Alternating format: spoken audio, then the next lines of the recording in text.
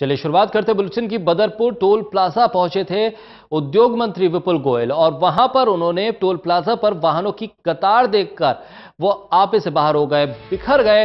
मंत्री विपुल गोयल और टोल कर्मियों की क्लास लगा दी। खुद खड़े होकर सभी लाइनों को खुलवाया गया।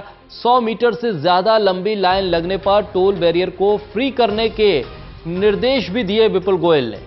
खुद खड़े होकर जाम में फंसी हुई गाड़ियों को निकाला गया। 100 मीटर से ज़्यादा अगर लंबी लाइनें लगती हैं तो टोल को फ्री किया जाए। ये विपुल गोयल ने साफ़ निर्देश दिया। आप इन तस्वीरों में देख सकते हैं। लंबी लाइनों के कारण लोगों को परेशानी हो रही थी और ऐसे में विपुल गोयल खुद सामने आते हैं और इस पूरी स्थिति से लोगों को राहत दिलवाते हैं। टोल प्लाजा पर लंबी लाइनों के कारण लोग काफ़ी देर से खड़े हुए थे और लोगों को दिक्कत हो रही थी।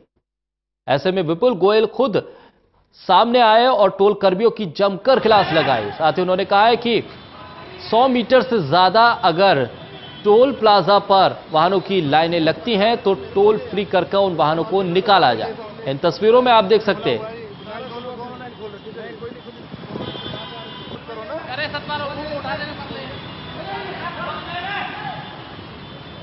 विपुल गोयल के सामने आने के बाद ही इस टोल प्लाजा पर लंबी कतारों से लोगों को राहत मिली। हमारे सहयोगी रुपेश बंसल हमारे साथ जुड़ रहे हैं। रुपेश, क्या कुछ हुआ था टोल प्लाजा पर? असल में पहली बार ऐसा हुआ है कि जब कोई मंत्री टोल प्लाजा पे फंसा है, हालाँकि रोज़ाना विपुल गोयल यहाँ से दिल्ली की तरफ़ जाते हैं तो रोज़ाना उनको खुला मिल जाता है। पहली बार जब वो वहाँ भीड़ में फंसे और उनकी गाड़ी वहाँ पर फंसी तो उनको तो उन्होंने वहाँ पर मौके पर ही गाड़ी रोकी और गाड़ी रोक के उन्होंने जो जिस तरह से लंबी लाइनें वहाँ पर लगी हुई थी, उनको देखकर उन्होंने सबसे पहले वो सारी लाइनें फ्री करा दी हैं और साथ साथ सभी एक बार जो बीच में टोल काटना बंद करवाया और सारी गाड़ी को वहाँ से निकलवा करवाने का काम विपुल गोयल जी ने मौके पर किया है। जी। तो ऐसे में यह ये समझा जाए कि जब मंत्री जी को खुद परेशानी का सामना करना पड़ा, तब उन्हें एहसास हुआ कि लोगों को कितनी दिक्कत होती है।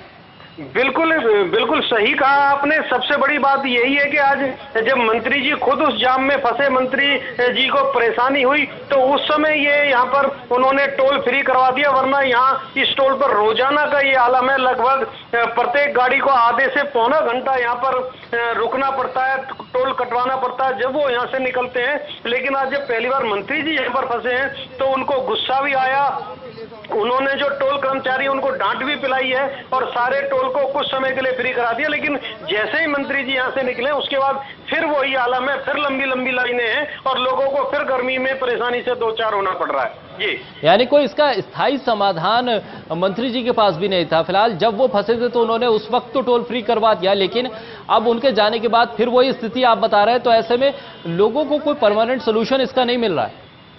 बड़ी अजीब सी बात है मैं बताना चाहूँगा कि ये सिर्फ़ एक पुल है और इस पुल पे टोल लगाया हुआ है। और यहाँ एक और जो विशेष बात इस पूरे मामले में है वो ये है कि इसी पुल से यदि दिल्ली से दिल, दिल्ली आप जाते हो तो वहाँ पर उनको टोल नहीं देना पड़ता। लेकिन यदि एक किलोमीटर दूसरी तरफ़ फरीदाबाद में अगर आप आते हो तो उसके लिए टोल देना पड़ता है। तो लोगों को बड़ी परेशानी है और काफ़ी समय से जो लोग हैं वो इसके एक सताई समाधान की मांग कर रहे हैं क्योंकि बहुत से लोग यहाँ से रोज़ाना लाखों की संख्या में जो लोग हैं वो फरीदाबाद से दिल्ली जाते हैं और रोज़ाना उनको इस परेशानी से दो चार होना पड़ता है। लेकिन अभी तक किसी भी सरकार ने इसके सताई समाधान के लिए नहीं, नहीं सोचा है। हालाँकि मैं फिर बताना चाहूँगा कि दिल्ली से दिल्ली यदि इसी पुल पे से जाते हैं तो उनको टोल नहीं देना होता है।